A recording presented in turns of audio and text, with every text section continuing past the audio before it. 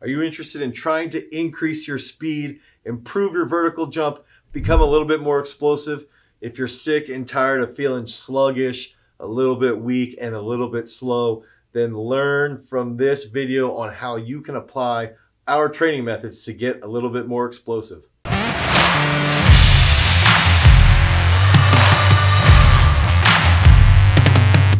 What's up everybody? I'm Dane from Garage Strength and we're gonna cover the topic of peripheral sensory receptors. So what does that mean? We're gonna go over two things specifically. Okay, so we wanna cover muscle spindles and my favorite word, the Golgi tendon organ. So right off the bat, these are confusing words. They're, they're big, they're maybe a little bit big for my own britches, but we have to understand what these do specifically from a physiological perspective so that we can have a better understanding about strength training and about resistance training and about shock training, plyometric work, power metric work, whatever it is that you might want to be doing from a ballistic perspective, we've got to understand muscle spindles and we've got to understand the Golgi tendon organ. So if we're going to go and build, you know, if we if we think about this being a muscle, right? Okay, here, and we've got all the myofibrils here. And we got a little bit of space in the middle. We got myofibrils here. Okay. And then in through the middle. Let's go like this. Okay. What we're going to have here is we're going to have uh, extrafusal fibers here. Okay. And then intrafusal here as part of the muscle. Okay. So inside the muscle itself, we are going to have this, these are my fibrils here on the outside. This is the intrafusal part of the muscle belly. And, and on the, uh, throughout the extrafusal part of the muscle, that is where 90 to 95% of our actin and our myosin is. And this is where all of our contraction is going to be coming from. Now on the intrafusal part of the muscle, there's gonna be about 10% of the actin and myosin will be here on the ends, but what the intrafusal part is doing for us is it is creating a better knowledge and a better awareness of proprioception. It's teaching us about where we are in space, okay? Where, what am I doing right now with my eyes closed? I know that my hands are out here. I know that the whiteboard's right here. And that is because of what's happening inside of my muscle belly. So if we can think about muscle spindles, okay?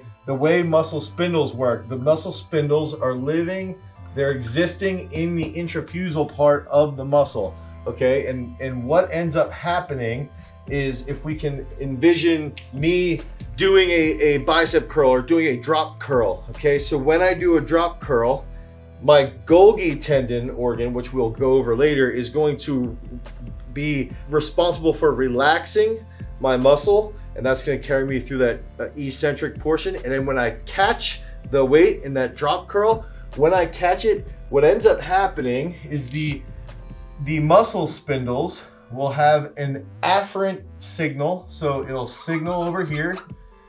Okay, so it'll be afferent. And I'll tell you how I remember this in a short period. And this afferent signal will travel to the spinal cord, okay, where we're gonna have interneurons. Okay, so when, when it travels to the, to the spinal cord, what ends up happening now is, is the, so if we go back to the beginning, the, the muscle spindle will send this afferent signal to the spinal cord. It'll get to this juncture at the interneurons. The interneurons will then send a signal back, and this is efferent signal. Okay, they'll send an an efferent signal back. Let's draw this up here. To the muscle belly to recruit and to fire high threshold motor units because I'm doing a rapid drop curl. Okay, and that's gonna be through alpha motor neurons and that's gonna fire and it's going to recruit my biceps to explode back up to the top because it's the muscle spindles are, are recognizing the amount of force needed to catch that barbell at the bottom and explode back up to the top. And so that muscle spindle is absolutely key behind understanding how much load you are gonna be feeling and how what the velocity of that movement is going to be. So think about when you're uh, going to the doctor and the doctor hits you on the knee with the with the hammer and your knee jolts forward. What ends up happening is the the muscle spindle sends that afferent signal to the spinal cord after the knee has been hit by that hammer and then at the interneuron juncture, the efferent signal comes back and it tells the muscle fiber how much it needs to recruit and at what speed it needs to recruit. So now if we can get into the, the Golgi tendon organ, the Golgi tendon organ will exist in a collagen uh, matrix essentially just outside the muscle fibers. There's, there's gonna be a little bit of muscle fiber inside the Golgi tendon organ, but it's going to exist over here, okay? So a little bit outside. And the GTO can only, it only utilizes an afferent signal. And the way I remember this is afferent sends to the uh, spinal cord, efferent comes back, A comes before E. That's one of my dumb tricks to memorizing this stuff. But the GTO exists here, okay? The way the GTO measures force or uh, observes uh, force is the, the collagen actually pinches the, the, the GTO to send this signal to the spinal cord to recognize that it might need to relax. And, and the whole goal with both of these uh, sensory receptors, the, the muscle spindles and the Golgi tendon organ is to prevent tearing of the muscle. So we need to understand that the spindles and the GTO are defense mechanisms to protect us from blowing out a pec or from blowing out a bicep or, or blowing out our quad, anything along those lines.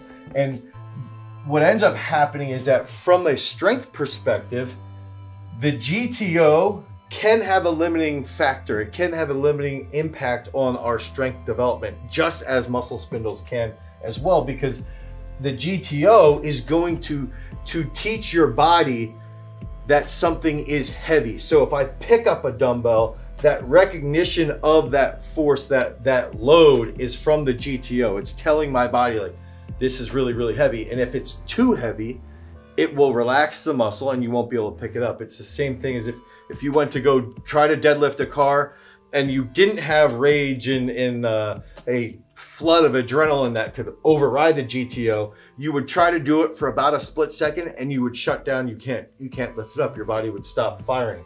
And so those are the two defense mechanisms, the muscle spindles, which exist in the intrafusal part of your muscle belly and the, and the GTO, which exists in the uh, outside in the, the matrix between the, so if the muscle belly's here, the tendon would be existing here and the bone would be existing here. It's sort of like the, the tendon muscle uh, matrix where the GTO ends up existing. And what, what does this mean, right? What does this even have anything to do with? If we can understand muscle spindles and we can understand the GTO, we can understand how to improve their ability to lower their inhibition. We can understand that if we start to use things like plyometrics, we start to use things like heavy partial lifts, slow eccentrics, double bounces uh, in a full range of motion, and we start to use these all as specific tools, well now we're, we're engaging with the muscle spindles and we're, we're leading to hypertrophy of the tendons, which then will help the GTO recognize that your body has adapted well and it can handle much more load. So now as we start to to lift a little bit heavier. We start to use double bounces. The GTO recognizes that now the tendons are starting to grow, they're stronger, they're healthier, and now the tendons aren't at risk of destroying bone or tearing the the bicep or quad, whatever that muscle belly might be. And if we can handle, if we can understand that from the perspective of plyometric training, uh, so a stretch shortening cycle. So because the muscle spindles recognize a long stretch, or, or contraction and the velocity behind it, it can then open up these neural pathways to fire a little bit quicker and, and override that size principle where instead of recruiting slower twitch, then moderate twitch, and then high twitch motor units, now because we've trained consistently with, with plyometrics and with shock training, that now all of a sudden we start to understand that our, our neural pathways are a little bit more opened up and our body is better at recruiting high threshold motor units. And so what we ended up doing is like this is stuff that we've studied for quite a while. We start to comprehend how can we understand physiology and then start to manipulate things in our own training. And that's exactly what we did in the Vertical Jump Manifesto. We sat down, we wrote out a 12 week program specifically utilizing plyometrics, utilizing strength movements, and utilizing different tempos and different exercises like the double bounce squats so that now our body can adapt to be able to put out as much force in as short amount of time as possible. And that's all done by manipulating the muscle spindles and by understanding how the Golgi tendon organ functions. So if you want that, head over to garagestrength.com. You can pick up the vertical jump manifesto today. You can start to get a 41 inch vertical leap just like Jacob Horse. You can be an absolute freak of nature, jump through the roof, get more vertical stiffness, run a little bit faster, and understand how to put out power at a higher speed and a higher rate. If you like this content, head over to garagestrength.com, pick it up today. Please like, subscribe, share this video all over the internet. Peace.